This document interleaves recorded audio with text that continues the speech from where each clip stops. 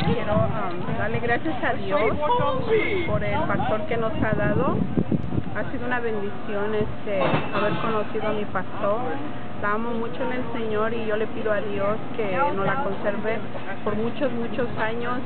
y que siga siendo bendición y siga siendo un ejemplo como siempre lo ha sido para mí. Ella es mi guía espiritual y yo siempre la miro a ella como una madre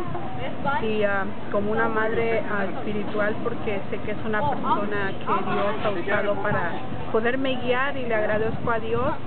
y le pido a Dios que siempre la tenga con bien y oro a Dios todo el tiempo para que Dios donde quiera que ella esté la guarde y la cuide y siempre la bendiga.